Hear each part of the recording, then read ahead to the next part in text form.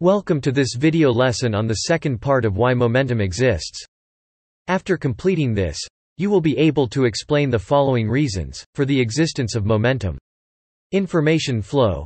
Analysis and reaction is not symmetric. Everyone analyzes the news and takes action at a different pace. And this results in momentum. When can momentum due to this occur? This momentum can be seen on scheduled events, or during news releases.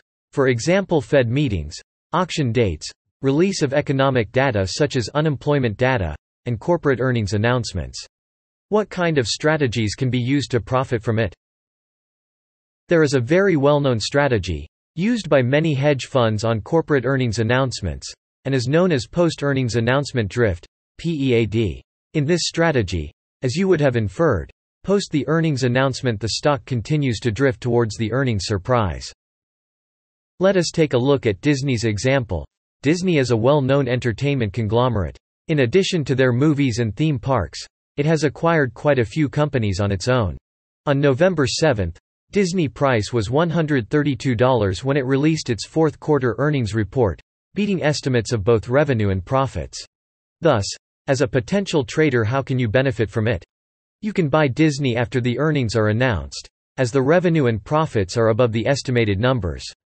Well, as expected, the stock price climbed to $148 on November 13. After a while, the stock price declined. Despite the decline, the share price climbed to $151 on November 26. Hence if you had gone long on Disney, you could have made a decent gain in the month of November. Let us move to the next reason now.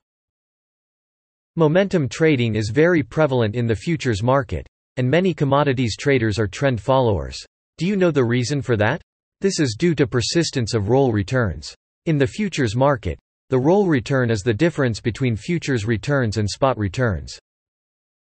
And for a long period of time, the sign of roll returns does not change. So if roll returns are positive, then you simply long it and profit from it.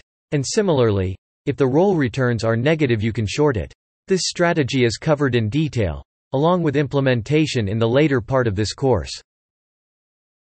In the next video, you will list more reasons for the existence of momentum.